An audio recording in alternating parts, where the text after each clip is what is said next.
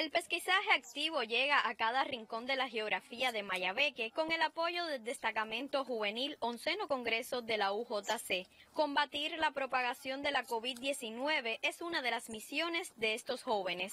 Creo importantísima la tarea, nos hemos asociado entre la juventud, eh, la, salud para enfrentar esta tarea. Es algo eh, muy, muy, muy bueno que nos, hayamos podido eh, unir creo que vamos a hacer grandes cosas de esta forma.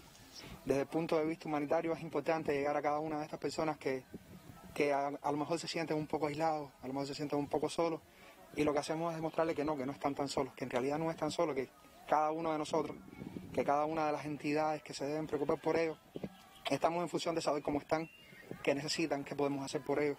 Mediante la indagación y en cumplimiento de las medidas orientadas, detectan síntomas y aconsejan. Que esto es apartado y que lleguen los médicos hasta aquí, bueno, para mí es tremendo alivio saber que, que, hay personas que se dedican a nosotros y que están constantemente viendo nuestra salud. Y más yo que tengo niños chiquitos, para mí eso es lo máximo. Son jóvenes de estos tiempos que libran en las comunidades la batalla por la vida. Desde Mayabeque y Aremi Madero, Sistema Informativo.